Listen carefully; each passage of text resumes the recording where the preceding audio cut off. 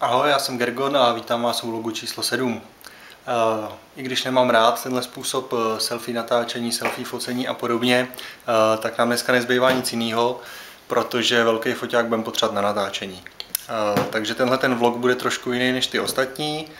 Berte ho jako takový deníček režiséra z jednoho natáčecího víkendu. Budu vás postupně provádět vším, co nás čeká, komentovat, ukážu vám, co budu moc ukázat. Některé věci si necháme až do filmu, abyste je neviděli. A provedeme vás vlastně celým víkendem. Eh, co se týká teďka, tak je pátek dopoledne, asi 11 hodin. A přišli jsme zpátky z nákupu, byli jsme pro nějaké zásoby, pro catering a podobně. A tady v naší herně začínáme balit. Takhle to tady momentálně vypadá hromada věcí, hromada krámů, nějaký zelený plátno, technika, rekvizity, kostýmy a podobně. A toho je asi tak půlka. Ještě hromada věcí je ve skříni, hlavně technika teda. A tohle všechno musíme nadspat dvou aut společně s dalšíma sedmi nebo osmi lidma. Osmi. s dalšíma osmi lidma a večer kolem 6. půl sedmí budeme vyrážet směr Fantazy Vesnička Čísovice. Tam dorazíme, nebo až se zase stane něco zajímavého, tak natočím další kousek svého deníčku a pak vám toho asi nesestříhám, nasázím tam komplet všecko, ale uděláme sedmý vlog, který se snad objeví těsně po natáčení, co se vrátíme zpátky. Tak, dorazili jsme do fantazie vesničky, momentálně je asi čtvrt na deset večer a zatím tady je jenom pár lidí, ale vládne tady příjemná atmosféra. Máme tu našeho kameramana, který ho letně moc nevidíte, u ohně potom některý místní kompars, který dorazil. A naše hlavní herečka, čarodějka nová, moc ní nevidíte, jak uvidíte až ve filmu.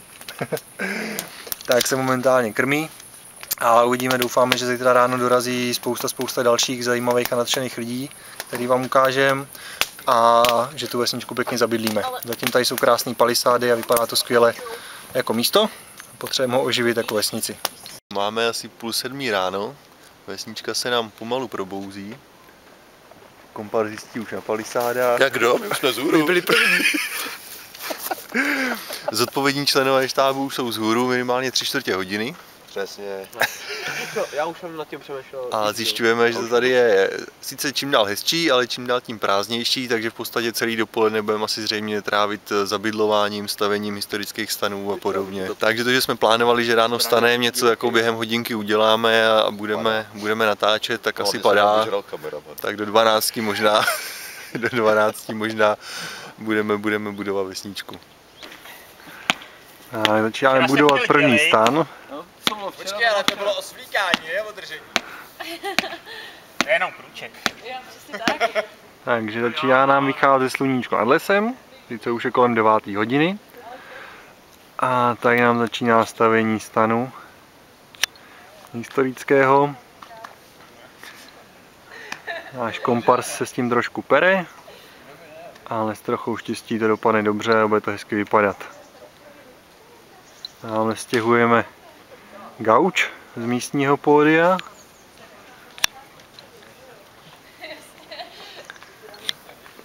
A s trochou štěstí nám během dopoledne dorazí nějaký další kompars, aby to tady vypadat hezký a trošku zabydleně. Dobrá nálada nám určitě po ránu nechybí. A jediný, čeho máme dostatek, jinak čas i lidí je vždycky málo.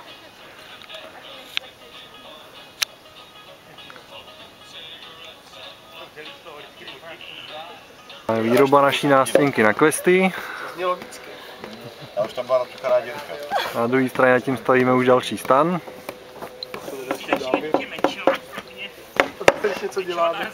Tady se nám zatím chystá na půl čajovna, na půl hospoda, na půl catering pro herce a pro kompárs a pro štáb. Tady se chystá stánek s lektvary.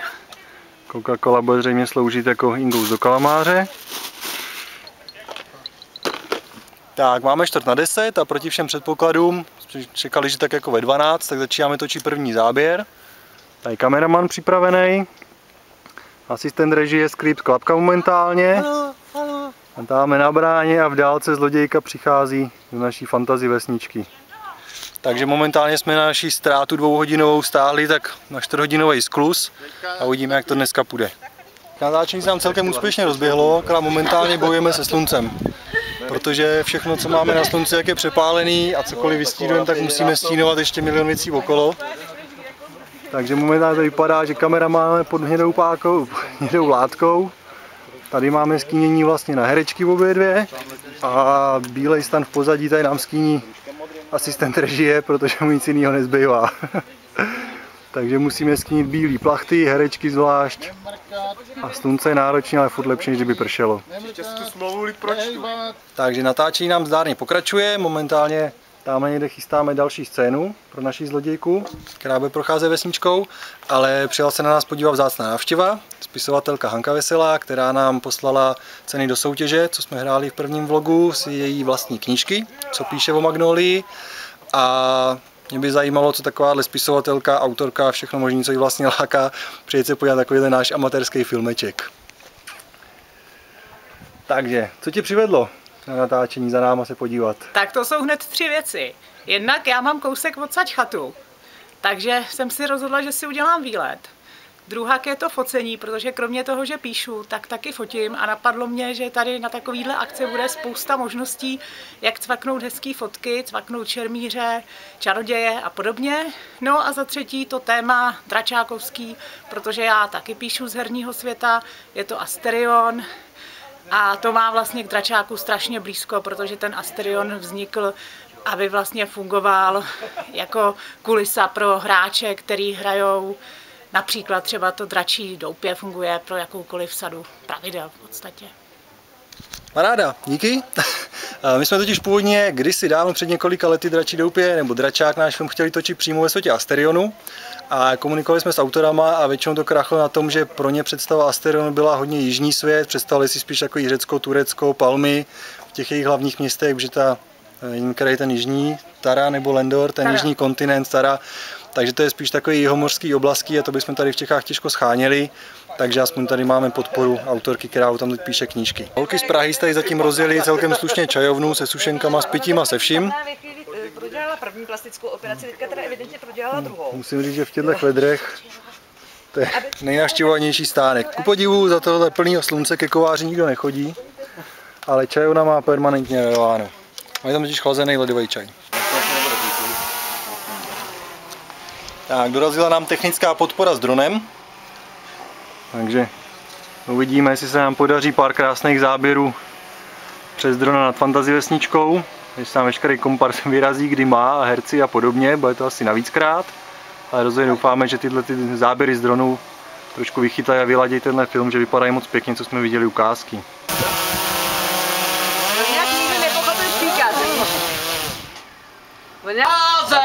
Přesunuli na natáčení hospody. Komparzisky se nalejvají. Sice jako momentálně nestíháme, ale máme chvilku pauzu, protože nám kolem vesničky jezdí traktor, takže kvůli hluku stejně nemůžeme točit. Tak, byl jsem přinucen, abych natočil další kousek vlogu, protože mě tady nějaká si elfka obdařila svojí květinou. To je ona. Sama jí má ve vlasech a tvrdila, že mě to vizáž nezhorší, o čemž pochybuju.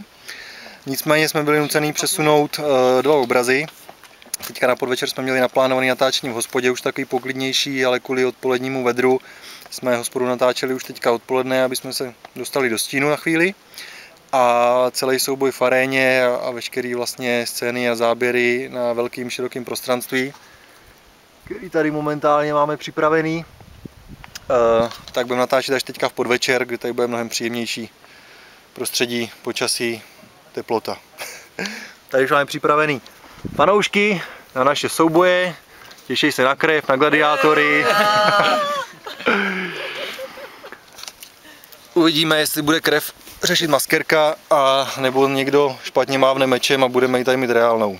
Doufám, že to obejdeme bez zranění, ale kdo ví.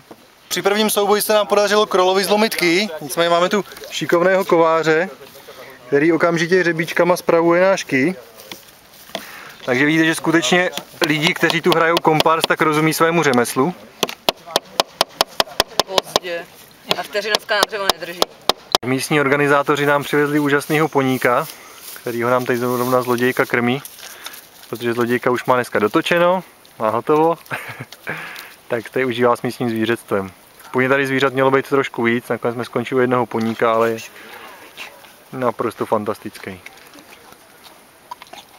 Tak dámy a pánové, skinny štábe, pro dnešek máme natočeno! Tak, momentálně tady ve tmě asi nic neuvidíte, ale ten světlej obdelník před váma, tak to jsou první projekce záběrů, co jsme dneska natočili za celý den, že máme dotočeno. A komparzistům a štábu a všem promítáme na notebooku všechno, co jsme dneska natočili. A doufáme, že už tam teďka neuvidíme nějaké chyby, aby jsme to nemuseli zítra ráno přetáčet. Zatím se komparz docela dobře baví, takže to vypadá, že by film mohl mít úspěch.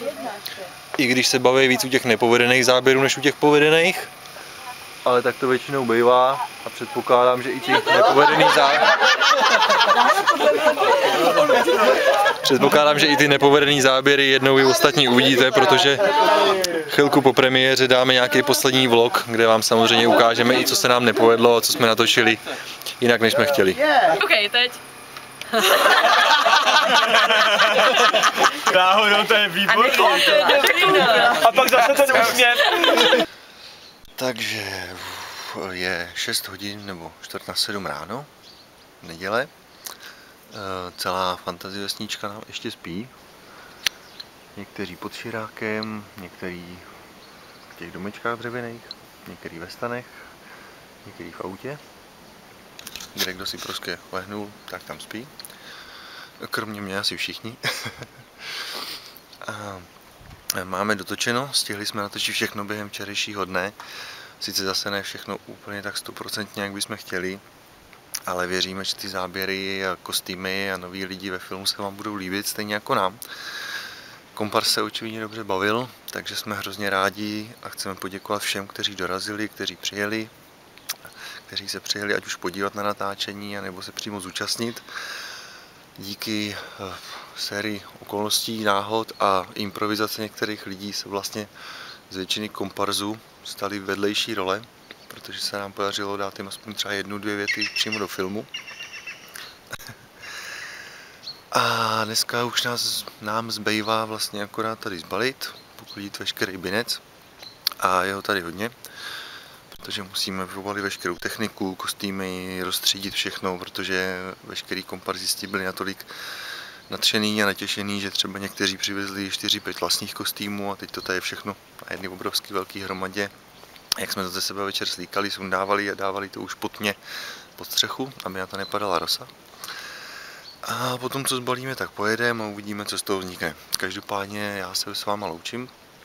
Eh, Tenhle vlog končí, uvidíme se někdy příště. A doufám, že ať už se vám ten vlog líbí nebo nelíbí tímhle stylem, tak jste aspoň zase naše natáčení viděli aspoň z trošku jiného úhlu pohledu. Tak se mějte krásně a uvidíme se příště. Tak, překvapení. Ještě nekončíme.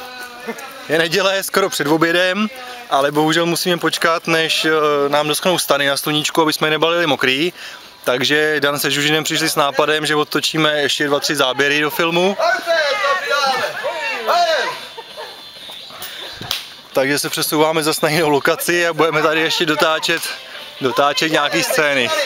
A doufáme, že budou stát za to. Měli jsme trošku nějaký vitamínu, že jo, to jsme si dali. jako- A ještě si můžu zahrát trojnou. Pojďte na trojnou. Pojďte na trojnou, máme výbornou hardcore verzi trojnohy. Takhle vymysleli. Jedem. Čop, čop, jede, chytáme se za ruce a jedem, jedem, jedem. A než si připravíme techniku, tak zatím tady štáb vymyslel hru pro ostatní.